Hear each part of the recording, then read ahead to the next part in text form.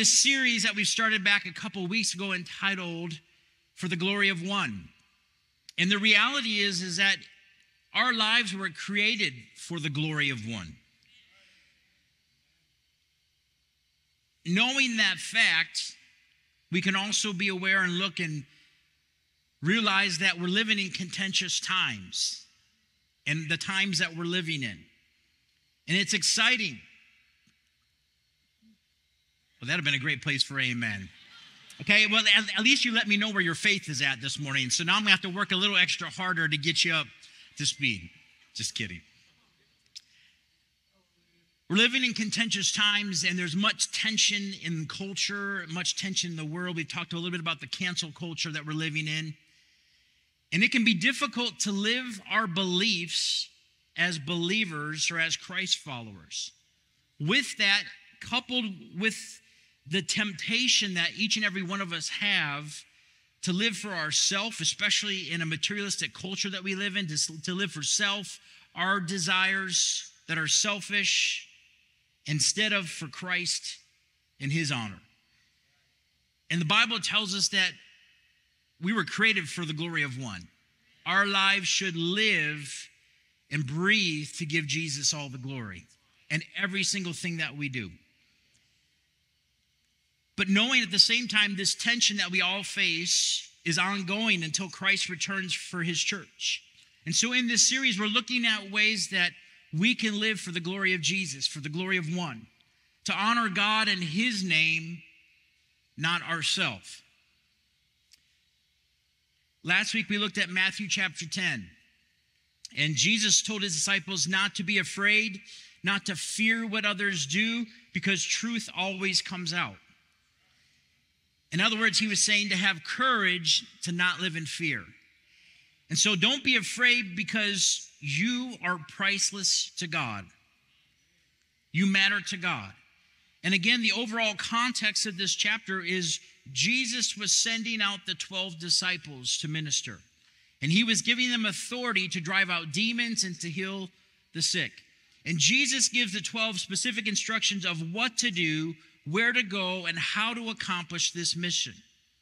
And here's what I want you to see because Jesus said earlier in the chapter, in Matthew chapter 10, verses 16 through 20, I invite you to read with me. He says, I am sending you out like sheep among wolves.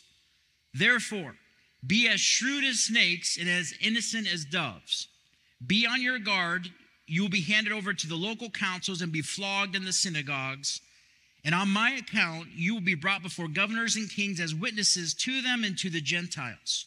But when they arrest you, not if they arrest you, but when they arrest you, do not worry about what to say or how to say it. At that time, you will be given what to say, for it will not be you speaking, but the Spirit of your Father speaking through you. Now, we know here that Jesus is talking to his 12. He's giving them instructions, he's letting them know what they should be expecting.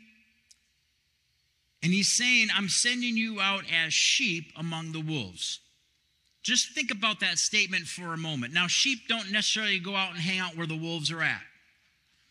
They stay together as far away as from the predators, such as the wolves, because they know what's going to happen if the wolves get into the pack.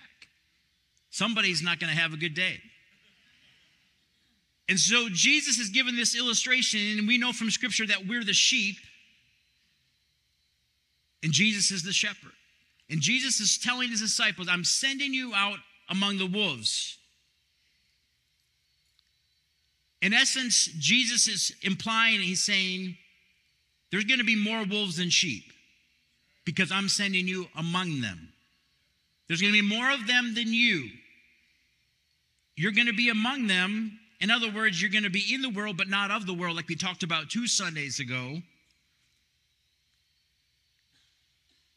And he's reminding them that wolves like to attack, in essence. So you got to be aware. Now, I just want to make this side note. Jesus is so encouraging, isn't he? Come on now. I love reading the Word of God, and there's times in scriptures that he's talking and we're reading, and it's going, wow. That's not easy to swallow, but you know, it's truth. And it's not for us, again, to live in fear, but to live in courage. because we overcome. But what he's talking about here in this passage is true for us. He sends us into the world as sheep to be light and truth. And in saying that, Jesus is not trying to alarm you. He's not trying to cause you to give in to fear, but he's trying to give us proper expectations as to what we can expect when we're among the wolves. Why? So that we can live for the glory of one in a proper way.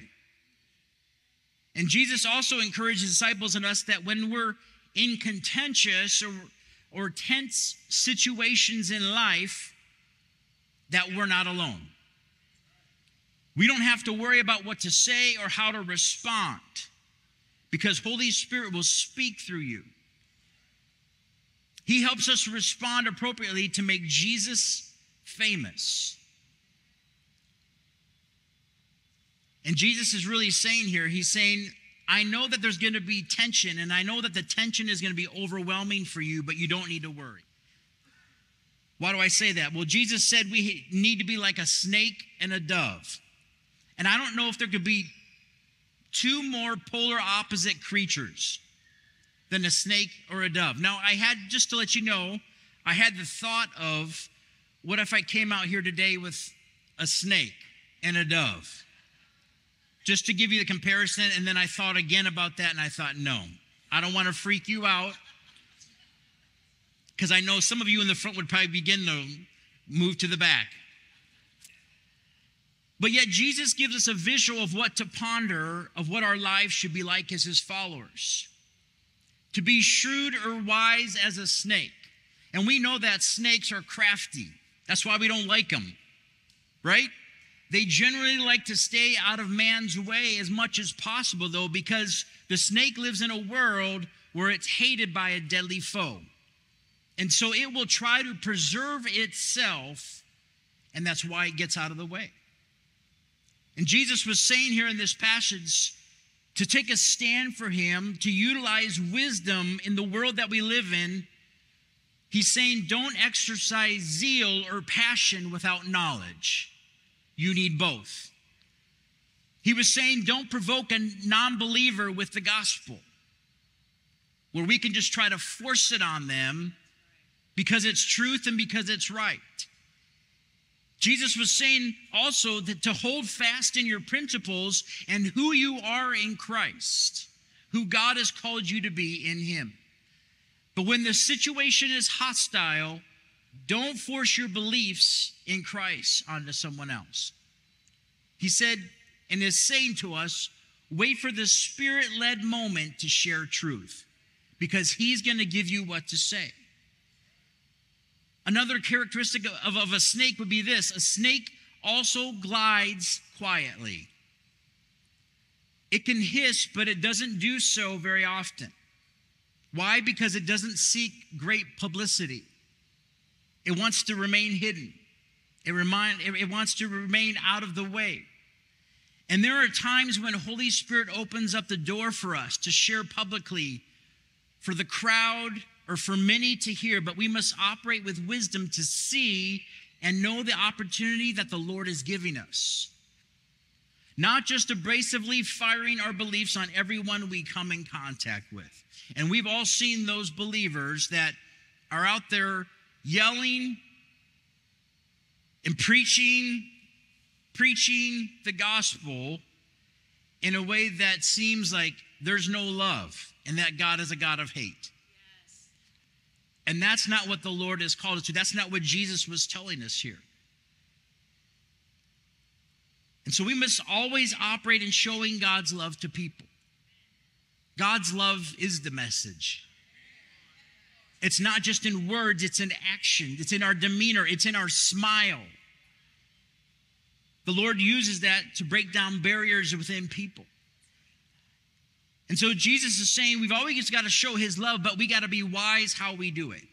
Be wise in how we share the truth of who Jesus is. And just like the snake who finds its way into small openings where others couldn't fit, if we can't get into people's hearts one way, then we must try another. You're tracking with me? If we can't get them to read the Bible, then we try to get them to hear it. If we cannot get them to hear a sermon, then we share a verse with them because it's still the Word of God. And God can work in that one verse as much as He can work in and through a sermon. Share who Jesus is and your, share your story of what He's done for you. And I've said this before and I'll continue to say it people can argue the Word of God and they can debate it all they want, even though it is truth, and the Lord will have the final say, but they cannot argue your testimony and your story of what Christ has done in you personally, how He's saved you, and the burden and the oppression of sin has left, and He's given you a new life to live. You're forgiven, you're free in Christ how the Lord has healed you in so many different ways, how He's provided for you in so many different ways.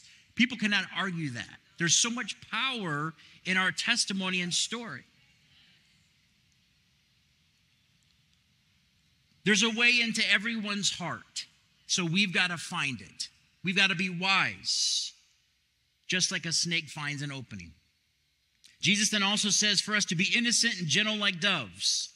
A dove is without a horn, a hoof, a fang, or any other means of defense.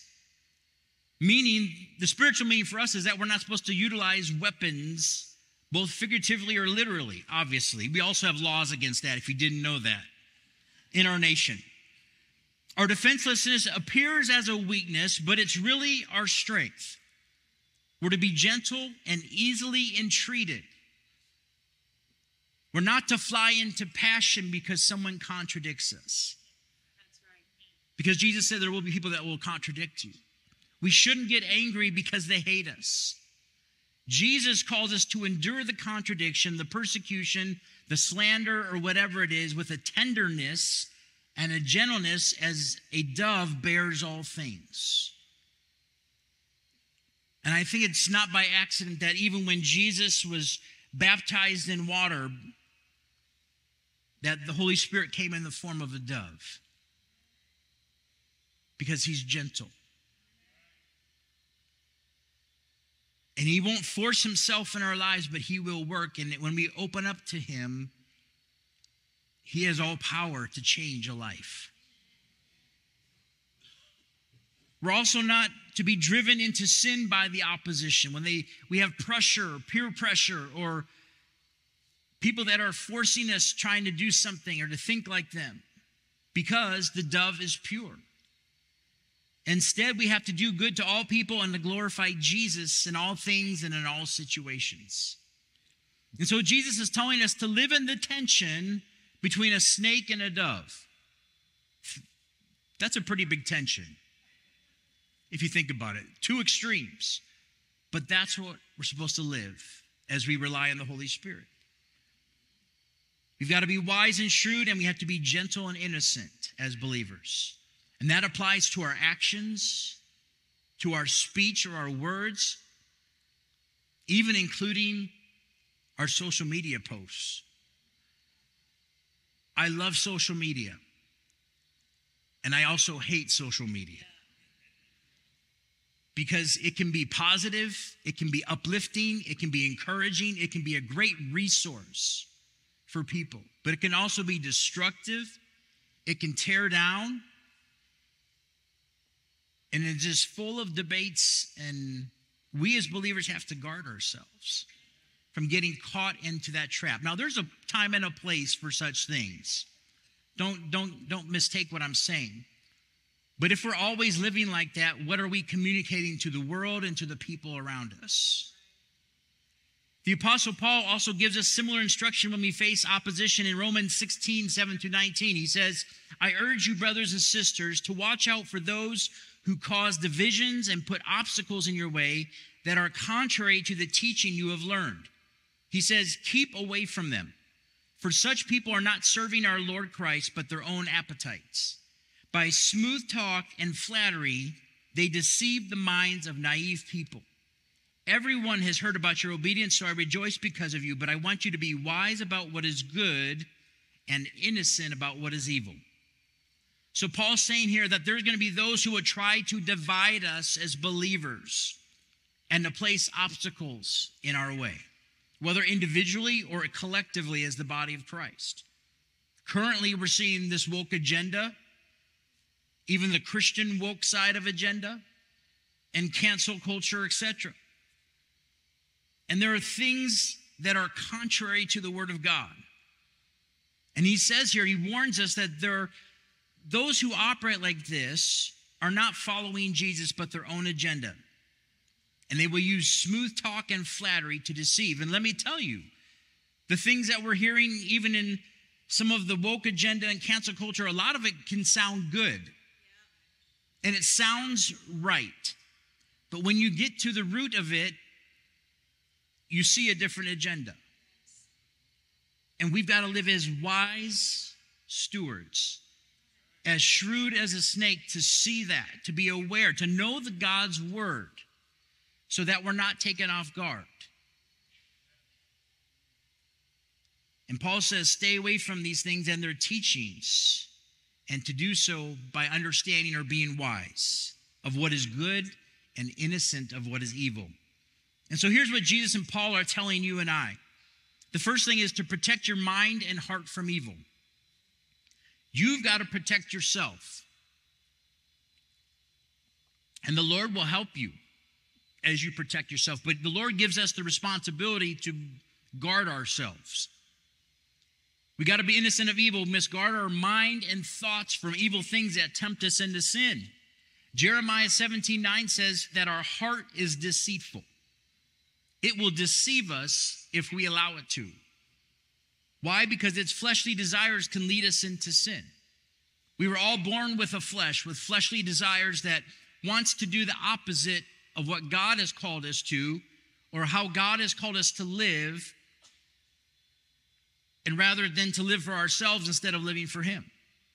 And that's why we need Jesus to be Lord over our heart, but also our mind. And the temptation, though, the battle begins in our mind. It begins with the thoughts. It's not sin when you're tempted. When the enemy tempts you, that's not the sin. The sin is when you begin to dwell on that thought or that temptation and you let it ponder there and you think, well, maybe that wouldn't be so bad. Or we try to rationalize it, we try to justify it. And we allow that temptation or that thought to remain instead of taking it captive and making it obedient to Jesus. And at that point, when if we allow that to stay in there, at some point, we're drawing closer to that line of crossing the line into sin and making the choice of following through with that thought. That's when it becomes sin. And if we live in that pattern of sin by making that wrong choice, we've crossed the line and we don't deal with it, we don't repent of it, or maybe we even try to repent of it, but we keep going back to it and we don't get the help that we need. And it becomes a pattern of sin in our life. That's when it becomes destructive for the long haul. That's why it's so important to take every thought captive, as the Bible tells us. It's so important to guard our hearts and our minds like the word tells us. So we protect ourselves. We got to put on the full armor of God daily, as Paul says in Ephesians 6. And that's why Paul also says in 1 Corinthians 14 20, he says, Brothers and sisters, stop thinking like children. In regards to evil, be infants, be innocent of it. But in your thinking, be adults or be mature. Paul saying regarding evil or sin, have nothing to do with it be innocent of it. And to do that, our thinking has to mature. We've got to change the way we think. We've got to think the way God's word tells us to think, to have his perspective, to ask Holy Spirit to put on the mind of Christ daily, that we would think the way Jesus would think and that he wants us to think. And we need God's word to change our minds so that our lives follow suit. Moving on, second, get out of the way from all sin and ungodliness. Just like we talked about, the snake gets out of the way of its foe, we must get out of the way of sin and those who tempt us to sin and ungodliness. In the Garden of Eden, when Satan tempted Eve, who then gave the fruit to her husband Adam, Satan said this in Genesis 3 5. He said, For God knows that when you eat from that fruit of the tree of knowledge of good and evil, your eyes will be open and you will be like God, knowing good and evil. Eating from the tree of good and evil was not only sin, but it caused Adam and Eve to rely on self rule and to assume independence apart from God. They were in essence saying, God, I don't I no longer need you. My eyes are open to good and evil. And that's why God did not want them to eat of the fruit. And God told them, we know this in scripture, God told them not to eat of the fruit. And the reason is is because God knew that humanity could not handle good and evil on their own because they needed him. God intended for us to live in a perfect relationship with him apart from any sin. Everything was supposed to be good from the beginning. And we know how the story ends. We know how the Bible ends that one day the Lord will get his way, where we no longer will be faced with temptation and sin for all of eternity. But those who have confessed Christ, those who have put their faith in Jesus and are living for him, will finally live in that perfect harmony with the Lord for all of eternity. Come on. God is so good and he's so faithful. But he knew that we couldn't handle the knowledge of good and evil on our own. That we needed to depend on our Creator for everything. And nothing's changed. He's made a way through Christ, and so we need to depend on Him for everything, every single day of our life. And so when it comes to sin and ungodliness, make no mistake that they, the two of these things mess up our life from the inside out.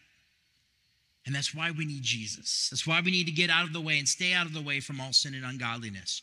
With this, we must remember that continually being exposed to the enemy's ways leads many away from faith and obedience to Jesus. When you and I think that we can handle the temptation or we place ourselves in situations where Satan can tempt us because we're not being wise about what is good and being innocent about what is evil, we are that much closer to giving into sin. It's one thing to be innocently exposed to evil, it's another thing to intentionally be exposed to evil ongoing. There's a difference. And the Bible is clear when Paul says in 1 Corinthians 15 33, he says, Do not be misled or make no mistake because bad company corrupts good character. It matters who we hang out with and who we do life with. It matters if it's they're helping us to draw closer to Jesus or to live for ourselves in a worldly way. In the movie Renaissance Man, there's a quote from actor Danny DeVito where he says, The choices that we make dictate the lives that we lead. That is a truth statement. That's in essence what the Bible tells us that we've been given a free will. The Lord has given us the gift of free will. And make no mistake, it is a gift. God loves you so much that He's not going to force you into a relationship with Him. Because that's not true love. If someone else here on earth were to try to force you in a relationship with Him, that's not love. That's a coercion, that's manipulation. But God's done everything He possibly can do to show you how much He loves you by sending His one and only Son, Jesus. We know that as believers. And He's given us the gift of free will to make choices all along the way. We can either make good choices that lead and multiply to other good choices, or we can make one bad choice which leads and multiplies to other bad choices. But all of our choices every single day that we live as a believer is either drawing us closer to Christ or it's pushing us further away. There is no middle ground. Our choices dictate the lives we lead. If you want to live in victory and the freedom in Christ that He came to bring, then we've got to make choices according to God's word that line up with that lifestyle. And when we do, I promise you, according to God's word, not because of my word and the way it says and the way I think, but because of what God's word says, when we do make those choices, our life begins to change and line up with living the victorious life. It doesn't mean we don't have problems ever because we're going to have problems. It just means that we overcome the problems because our perspective has changed, because it's not about our problems any longer, it's about Christ in us. It's about Jesus living on the inside. We're alive and we're forgiven. We're living in the freedom of who He is, and we overcome every problem, every trial, every situation, every need we face, no matter what it is. That's who our God is living on the inside of us. But it starts with one choice. And every day we have a choice when we wake up it's another opportunity. The Bible says God's mercies are new every morning. He gives you his mercies to make the right choice, to make the right choices.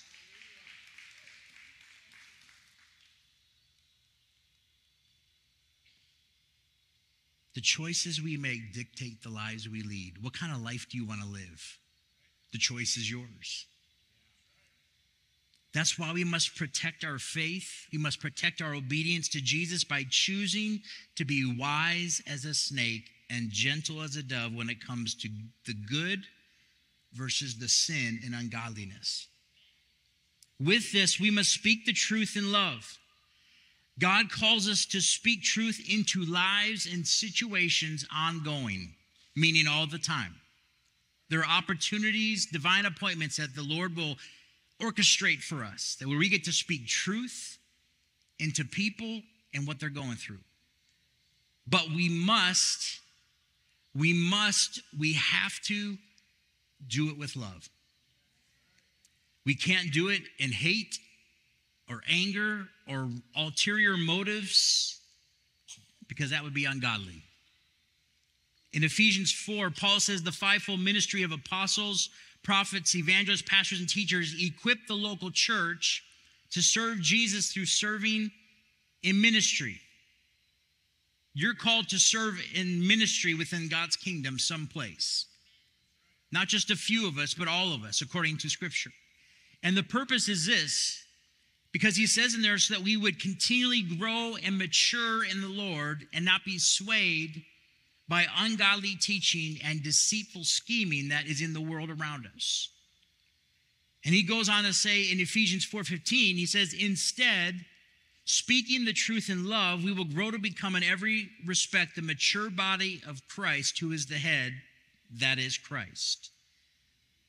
So Paul's telling us here in love to do this, but the Lord wants you and I to speak the truth in love at all times.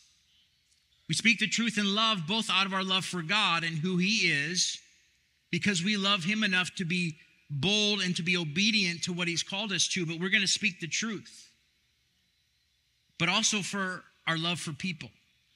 We've got to love people the way God loves people. We've got to see people the way God sees them. That He gave everything for them.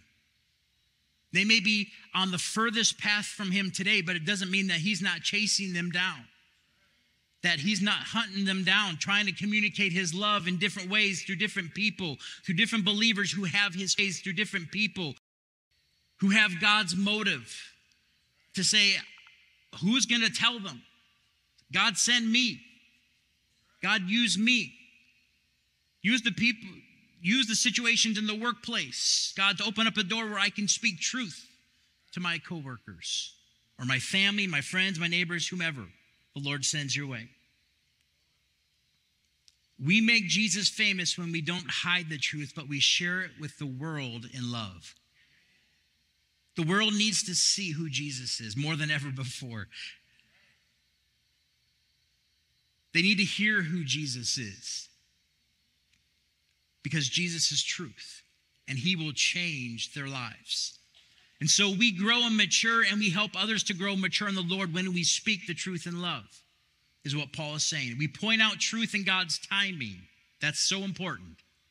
We point out truth in God's timing because Holy Spirit will line up the divine appointments, like Jesus told his disciples, Don't be afraid of what to say because the Holy Spirit is going to give you the words at the right time.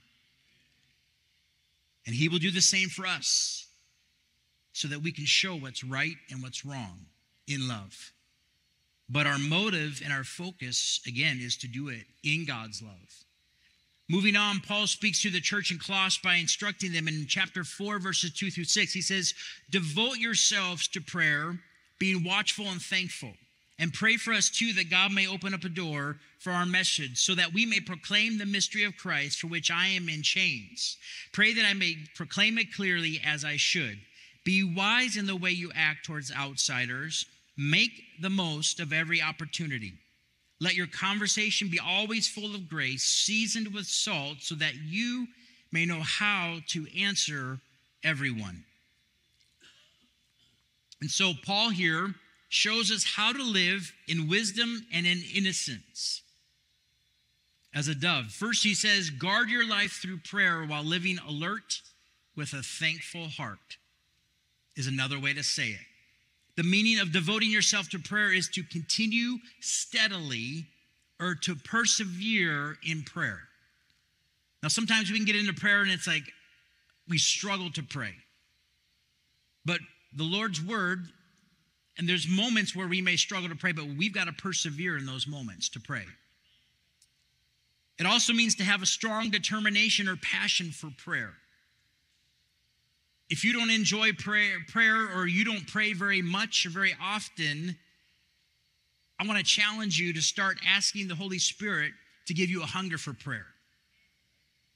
Because I promise you, if you begin to ask that earnestly or with a right heart and a right motive, He's going to give you the hunger for prayer, a passion for prayer. And the reason is, is just because prayer accomplishes so many things, but one of the things that it accomplishes is that it guards our mind, it guards our heart, it guards our life from the temptations and the evilness of sin that we all face. And as we pray diligently, we've got to be alert or watchful as to what keeps us from prayer. I don't know about you, but maybe I'm the only one where I can go to sit down and pray or to kneel and pray or whatever before the Lord, laying down on the floor, and all of a sudden my mind begins to wonder about all these other things I have to do. Am I the only one? Okay, good. I was thinking I was a, a special person. But I've learned how to take notes in that moment. It's okay to have a notebook or on my phone, I'll just I'll take a note. This is what I have to do. All right, but I'm coming back to you, Lord. Or I'll turn my phone completely off, get away from all the digital notifications, everything, so I can just focus on the Lord. And I'll, I'll make a handwritten note on a piece of paper. But we've got to be alert and watchful of what will try to keep us. The enemy always brings those thoughts to our minds at that moment for a reason. He's being sneaky like a snake. So we've got to outwit him with the Lord's help. And so we've got to also use wisdom to be alert of the temptations to sin that the enemy will try to bring us. We all have those hot buttons in our life of temptations. We all have them. If you say you don't, you're a liar. We all have them because we're all human. And the Bible talks about that. And so we have to be aware of our hot buttons where we got to guard ourselves, got our mind, guard our hearts, have accountability people, believers that we can be accountable to if we really struggle in a certain area. But we've got to be alert because the enemy will try to come in and a sneaky, and he doesn't create any new way to come in. He comes in with his old ways. He may find somebody different, but he, it's the same way. So we've got to guard ourselves and be alert. And with that, we've got to possess a thankful heart of gratitude towards Jesus and what he's done for us. Why? Because living with a thankful heart protects our heart and life from the lies and the deceit of the enemy. When we're thankful and we are acknowledging the Lord for who he is and what he's done ongoing in our life every single day, we will see the enemy coming from a mile away. Because we know who he is and we know what he's done. The Lord has been so good. So I'm not going to give in to that. Second, we must look for the open door to proclaim truth. As we pray with a watchful and thankful heart, the Lord always gives us open doors of opportunities to escape temptation, the Bible says. But in the other situations, he gives us opportunities to share truth the right time with somebody who needs to hear it. Always. The Holy Spirit gives us divine appointments to make Jesus famous by sharing God's love and truth. It's so powerful. It's so awesome to serve the God that is, we think we've got our, our day mapped out. And we do, but the Lord divinely orchestrates our day for His purposes. If we're being alert and in tune with the Spirit, Holy Spirit, to lead us and guide us in those moments. And so we've got to look for these open opportunities because they're awaiting for us to walk through to deliver truth. You never know the impact that you're going to have on somebody else by your obedience to the Lord and responding to His leading, His voice, and by sharing God's love, maybe your story, your testimony, truth of who Jesus is in a certain moment. it's not because of you, it's not because of me, it's because of the God we serve. He's so faithful in that. And Paul goes on to say, then also live discreetly in your behavior. Paul says, be wise in the way that you act towards outsiders. In other words, we've got to be self aware of our actions and how we come across to those who don't know Jesus because they're watching us. Don't forget that people are watching you at all times, including our social media posts. And so we need to be wise as a snake in how we act and at the same time gentle and innocent as a dove. And when we're intentional with our behavior, others will see Jesus in us and they will be drawn to him. Paul also says, Be diligent in serving God's purposes, which also means to make the most of every opportunity when we're wise. Make the most of every opportunity that the Lord gives you. Step out in faith because we're living for the glory of one. We're living to make Jesus famous, so we're faithful in what he's called us to do. We're living in wisdom. And to say it this way, we will be faithful or diligent in every moment and every season to see the God opportunities that lay before us to make Jesus famous. We'll live in courage, not in fear, to speak boldly about Jesus. And so make the most of every opportunity. And Paul then tells us that winsome and wholesome speech attracts others to Christ. He says, Let all your conversations be full of grace. Be gracious in your conversations. Let it be seasoned with salt, so that you may know how to answer everyone. As believers, our speech must be pleasant, encouraging, kind, and gracious. In other words, conversations that are worthy of being identified with Christ. Our words and speech should set an example of godliness and decency for all who hear, always speaking the truth in love. In other words, our speech should draw others to Christ. It should make him famous. People should hear us and go, wow, what you just said was amazing. It changed me, it, it struck a chord with me. There's something different about you. It's to open up the conversation that they can ask questions because God is searching for them, He's going after them. And a conversation that is seasoned with salt is the one that is right for the occasion or the moment, that is wholesome or marked with purity. Like salt, but in a spiritual sense, our conversations should enhance and add flavor to one's life, causing others to thirst and hunger for Jesus. We don't have to get out and beat people over the head with the Bible. If we would just love people the way God loves them and begin a normal conversation by saying, Hi, this is who I am. Who are you? Where do you live? Do you have family? Where do you work? What do you do? We were just talking about this week with a couple a few men from Propel. If we would just live like that, how many opportunities will the Lord open up for us to share the gospel and our testimony? You don't know how many people that you could lead to Christ. Think about that. The impact that you can have on eternity and God's kingdom. That's what He's called us to.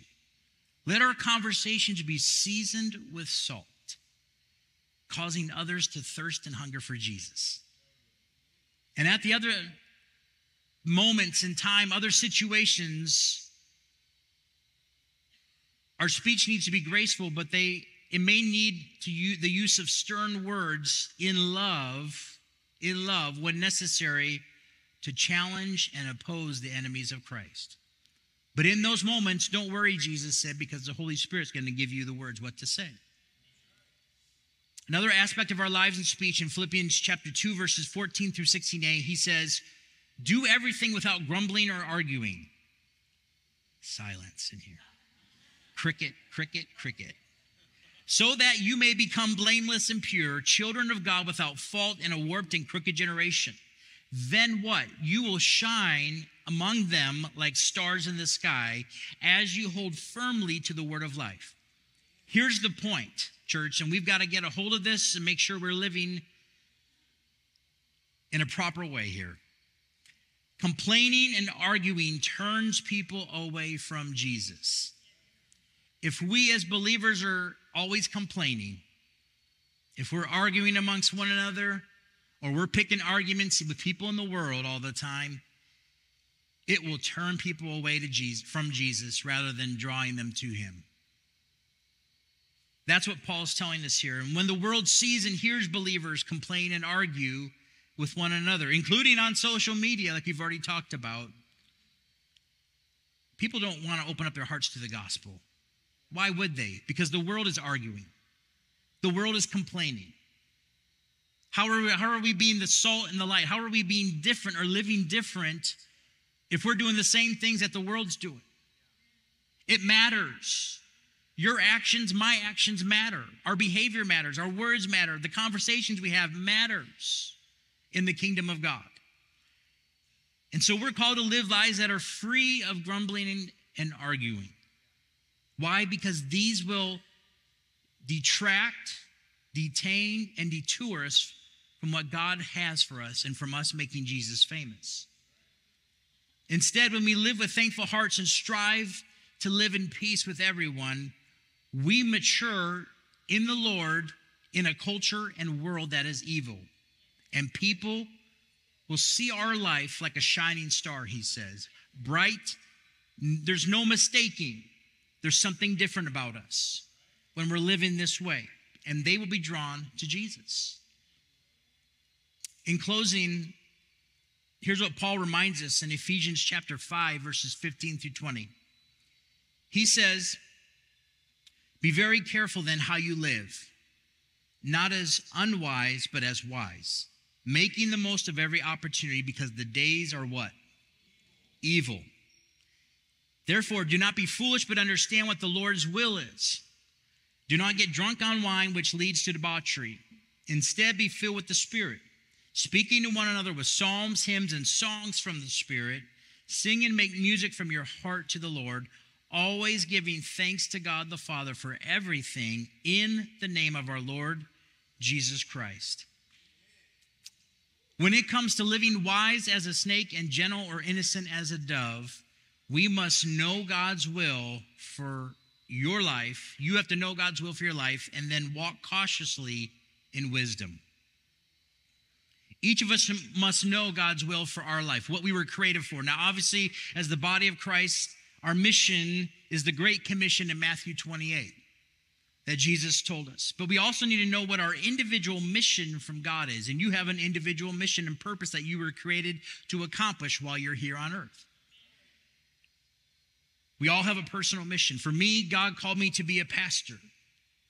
That means I have to live as a wise and obedient servant of the Lord, as be to be self-aware of what the Lord wants to do, what's going on in culture, what the enemy wants to do, so that I can live not only in the wisdom, but as the innocence as a dove. I can live cautiously at all times because the enemy wants to trip me up, just like he wants to trip you up. And the same is for all of us. You have a, a, calling from God, you have a mission from God personally that He wants you to accomplish while you're here on earth. And you must live wise and cautiously always so the enemy does not get a foothold or trip you up in any way. And that's why Paul goes on to say here that we must live by the Spirit.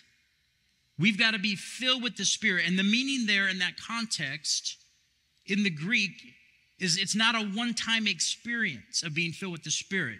It's a continually continual way of life, repeatedly being filled with God's Spirit every single day is what the meaning of that passage. So that means every day I got to get up, I got to live and be filled with the Spirit. What does that look like? That means I have to die to my flesh every single day. I have to pick up my cross, like Jesus said, and I have to follow him. I make that choice. It's my choice. The Lord can't choose it for me. I have to make that choice. And out of that one choice daily, it dictates how I live. It dictates all the other choices. It dictates when the temptations come. It tells me how I'm going to live for that day. I'm going to be filled with the Spirit today. Holy Spirit, not my will, but your will in me today. Have your way in me personally. Have your way in my marriage. Lord, help me to be the husband that you've called me to be. Help me to be the father that you've called me to be. Lord, help me to be the pastor. Give me your wisdom. What do you want to do and Propel? Lord, help me to see because you already know and you already have a plan. But Lord, I'm just your shepherd. I'm your under shepherd, Jesus. You're the great shepherd. I'm just here to accomplish what you want to do and Propel. So, Lord, have your way in me so that I get out of the way because this is all about you. You see, if every one of us, whatever you're called to individually and personally, if we would live like that, our lives would change. Our lives, we would continue to grow and mature. And we would see a greater fruit of what God wants to do in you and through you. That's how good God is. The last point is this is that allow Holy Spirit to transform every area of your life including your relationships and your life of worship to God. In other words, like Paul was saying here, don't live like the world does. It comes down to choices. Don't be drunk on alcohol. Don't be high on drugs.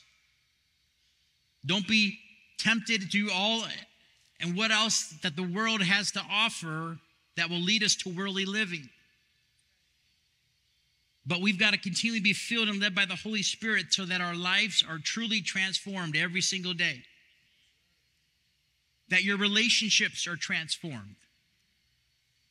And your relationship and worship of Jesus is continually growing and strong.